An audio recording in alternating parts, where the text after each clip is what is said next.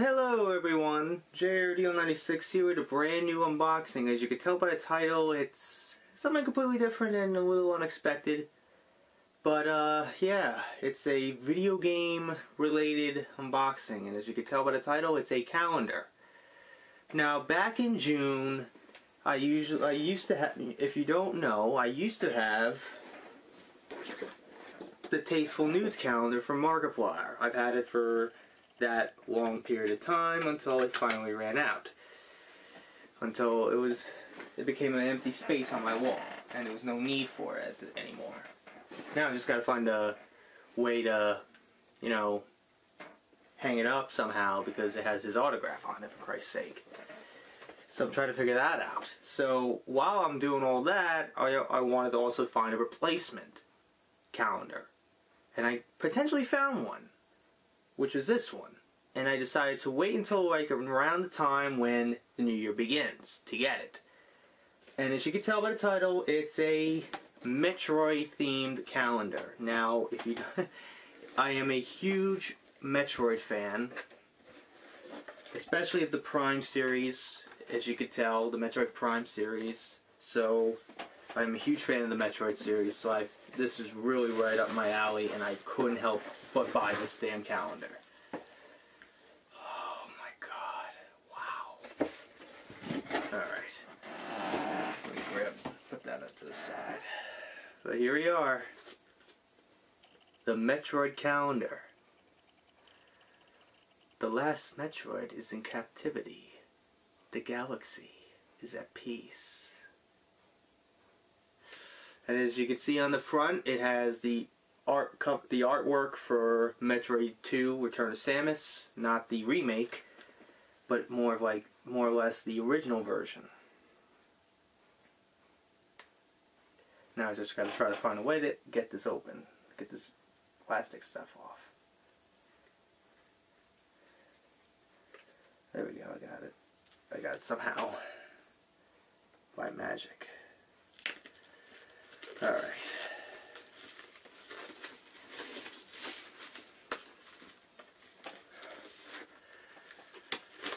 Alright, I don't want to ruin it, potentially, but I think there's like cardboard in there to keep it flat and stuff, so there goes that.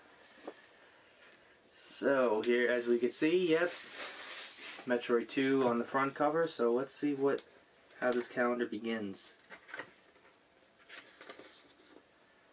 Okay, like the first few months of 2019, is there with the bottle ship from Metroid Other M, which is pretty, which is considered the worst game of the whole series, especially of how they treated Samus, having uh, having her act like a little whiny little bitch, and having her have have a PTSD moment against Ridley after she's fought Ridley maybe eight times prior to this. Oh yeah, dumb stupidity if you ever think about it.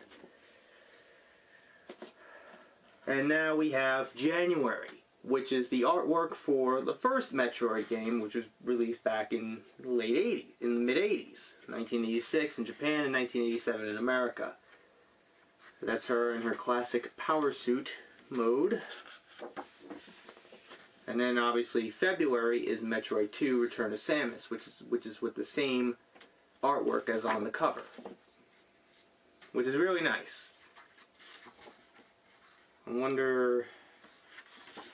And then March is the big one of the best games in the whole series. People consider this the best game of all time, one of the greatest games of all time, Super Metroid, and I can't agree. I couldn't agree more. It is probably one of the best games of all time. One of the best Super Nintendo games and one of the best Metroid games. Really nice. Like hell, I have a T-shirt of Super Metroid. Uh, April, which is artwork used for Metroid Fusion, which, by the way, I recently bought. I bought Metroid Fusion recently, and I started trying playing it a little bit. So far, it's really good. I've been hearing a lot of great things about this game. So pretty much now, Samus's appearance have, has changed very drastically because of her her being infected by the X parasite. And having the vaccine made from the DNA of the baby Metroid that saved her in Super Metroid has made her half human, half Metroid, in a sense. Kind of getting little vibes of Alien. Hell yes! And May, the month of May, which is my birth month, is Metroid Prime, which is my favorite Metroid game. Oh my god, Metroid Prime is so goddamn good. If you haven't played it, I highly recommend you go play that damn game. It's really good. Metroid Prime, so good. So goddamn good. And then Metroid Zero Mission, which is for June, which is the remake of Metroid 1. That's what Metroid Zero Mission was. It was a remake of the very first game with modernist modern aesthetics and modern uh, like gameplay mechanics added to the original game. Like certain elements from like Super Metroid and Metroid Fusion were added to Metroid One in a sense. The boss, some new bosses, some new areas, stuff like that. And then July is Metroid Prime 2 Echoes, which is pretty much Link to the Past, Metroid A Link to the Past, if you, because Samus has to travel from one side, a light side, and then a dark side, like a darker world and a lighter world on this planet known as Aether, which has pretty much been split into two worlds, light and dark. So you got to constantly travel from one place to another and save the planet and Luminoth. A lot of people hate this game. I think this is really. I think this game is really good as well. Like a, a worthy sequel to Metroid Prime One. Ooh. Now this one I actually have not played. I played the demo on when the Nintendo DS first came out, which was Metroid Prime Hunters First Hunt. But this is Metroid Prime Hunters, which came out 2006. And a lot of people like the game as well because of mostly the online multiplayer and if I'm not mistaken, that guy right here, that's Sylux, I believe. He's purple, just like how in Metroid Pro in the just like, you know, apparently Sylux is supposed to be in Metroid Prime 4. Based on the ending of this game, Metroid Prime 3 Corruption, which is for September this was the last Metroid Prime game made in the series, based on the Nintendo Wii, and what was added was what I hated the most, the motion controls. The motion controls are fine, but there are certain points where I just swear to God, I wish I could turn faster. With the GameCube, you could just use the analog stick and move fat move, turn your turn Samus around. With the Wii remote, you have to like aim the Wii remote like this insert to turn her around. It's stupid. And then when they added when they released Metroid Prime Trilogy, it just made it worse. Oh, it just made it goddamn worse. And here is what people consider the worst of the game, worst game in the series, Metroid Other M, because of the the weird out weird story elements that they added, having Samus act like a acting like not like how she usually would act. Having her have a PTSD moment against Ridley for like after fighting fighting Ridley maybe eight nine times prior to that, prior to that moment, and just the horrible voice acting. The gameplay, some of the gameplay aspects of it is really good. I thought Team Ninja did a good job with it, but the story just was bad.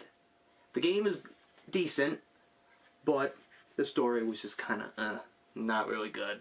They could have done a lot better with that. So much potential was there, but they just fucking squandered it. Sakamoto squandered it. Uh,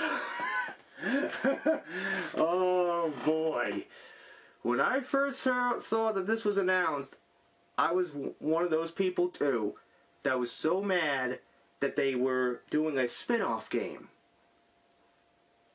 But then when I find when the game was released, and then when they saw a post-credit scene that showed somebody going through the Galactic Federation station and hatching an, a Metroid,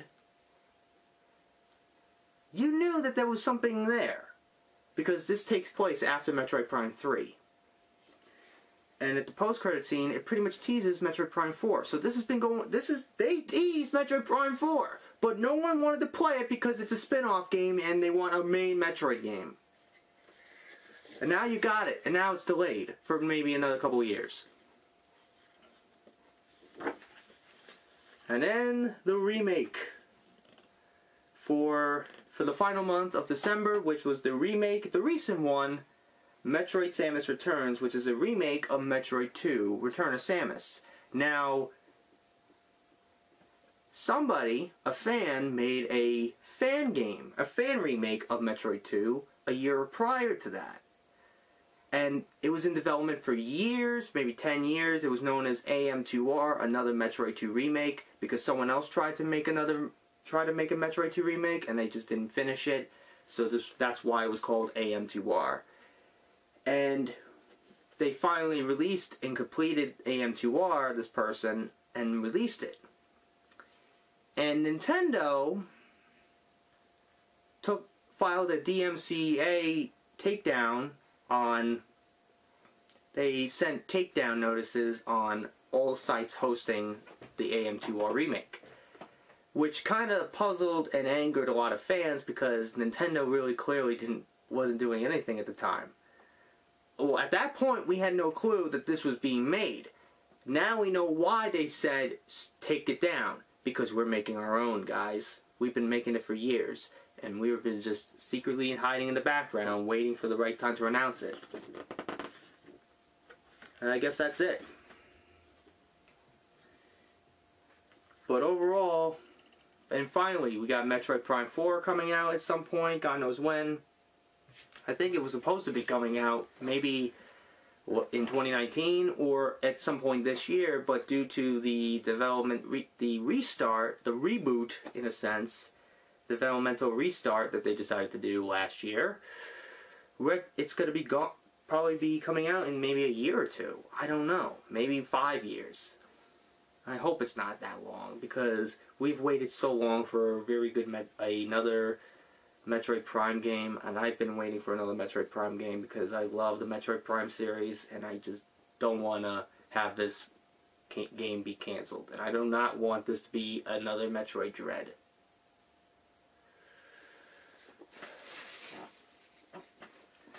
But anyways, uh, enough rambling about this. Um, let's put this up. Let's finally put this calendar up. I got the thumbtack still. Because I knew that, that, that day, this day would come. The bottle ship. And it has September to December 2019. Here we go. January.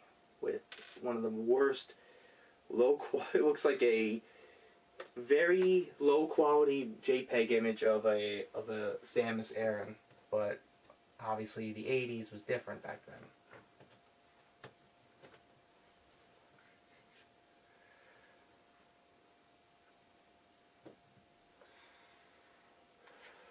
Alright. Voila. we got our new calendar. Finally it's up. Hopefully it stays up. and doesn't fall because one time my tasteful my Markiplier calendar fell one time.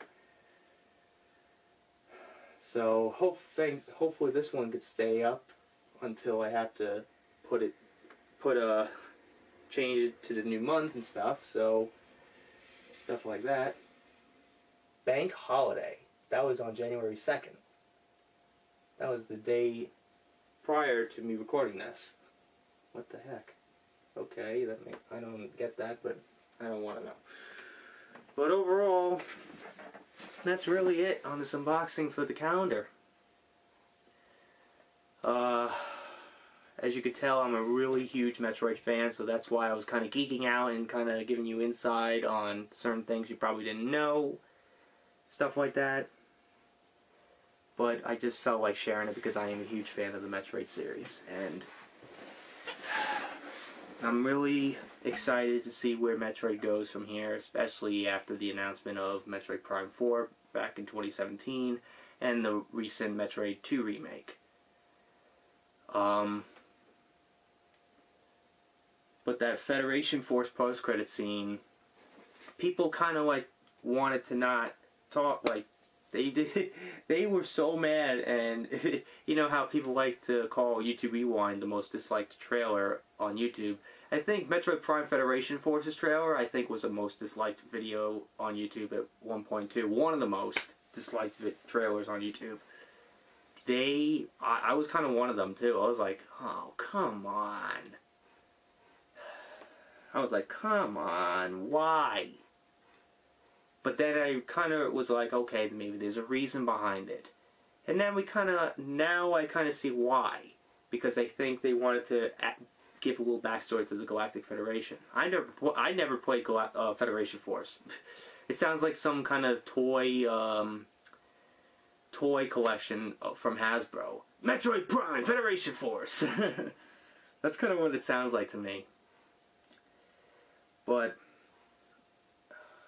Federation Force had that post-credit scene where you saw what appeared to be Sylux hatching a baby Metroid that was in a facility on the Galactic Federation station. So this could cause huge problems for our hero Samus in the future. This could fix a lot this could cause a lot of problems for our hero, for our heroine. Samus Aran.